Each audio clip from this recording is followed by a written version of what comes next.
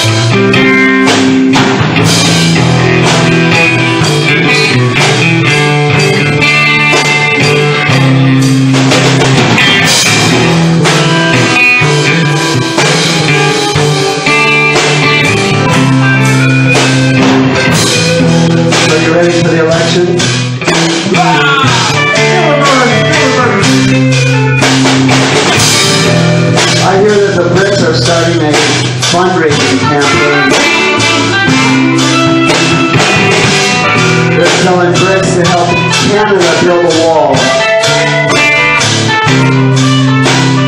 50 kids Trump wins. Canada doesn't want to get flooded by Americans seeking refuge.